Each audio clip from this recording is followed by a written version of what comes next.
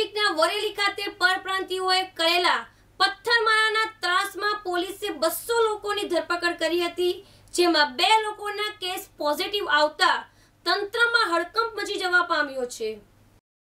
કડોદરા નજીકના વરેલી ખાતે પરપ્રાંતિયો ઘરોમાંથી રસ્તા ઉપર ઉતરી આવ્યા હતા. હજારોની સંખ્યામાં આ શ્રમિકો ભેગા થતા પોલીસ કાફલો પણ પરિસ્થિતિને કાબૂમાં લેવા પહોંચી ગયો હતો. લોકોને પોલીસે સમજાવવાના ઘણા પ્રયત્નો કર્યા હતા. પોલીસ અને ટોળા વચ્ચે ચાલેલી કલાકોની વાતચીત પણ સફળ રહી ન હતી. અંતે વિફરેલા પરપ્રાંતિયોએ પોલીસ ઉપર પથ્થરમારો શરૂ કરી દીધો હતો, જેને કારણે પોલીસે પણ ભાગવું પડ્યું હતું. પોલીસના વાહનો પર પણ ટોળાએ પથ્થરમારો કર્યો હતો. અંતે લોકો કાબૂમાં ન રહેતા પોલીસે છેવટે ટીયર ગેસના પંચોતેર સેલ છોડ્યા હતા. પોલીસ જવાનોએ સંતાયેલા લોકોને ઘરોમાંથી બહાર કાઢી લાઠી ચાર્જ પણ કર્યો હતો. જો કે અટક કરેલ બસોમાંથી બે આરોપીઓનો રિપોર્ટ પોઝિટિવ આવ્યો છે.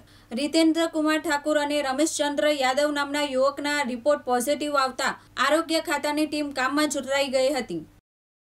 હાજી. રમેશભાઈ જે વરેલીમાં ઘટના બની હતી એમાં કેટલા લોકોની અટકાયત કરવામાં આવી હતી? હા બેન એમાં બસો લોકોની અટકાયત કરવામાં આવી હતી. એ તમામને ગલુડી ખાતે લઈ જવામાં આવ્યા હતા. અને પોલીસ હેડક્વાર્ટર. હા અને પછી એ લોકોની મેડિકલ તપાસ ક્યારથી કરવામાં આવી અને એનો શું રિપોર્ટ આવ્યો? હવે એ લોકોને ત્યાંથી સિવિલ ખાતે તપાસ માટે લઈ ગયા હતા. જ્યાંથી બે રિપોર્ટ પોઝિટિવ આવ્યા છે. અને આજે બીજા ત્રીસ જણાના રિપોર્ટ માટે સેમ્પલ લીધા છે અને મોકલાવ્યા છે. તો અત્યારે વરે કડોદરા વિસ્તારમાં કઈ રીતનો માહોલ હશે?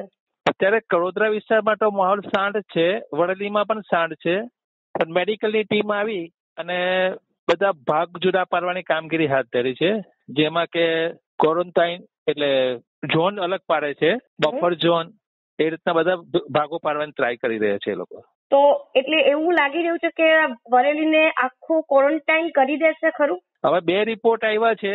હજુ બીજા આવે તો મને લાગે છે આખું કરી દેશે.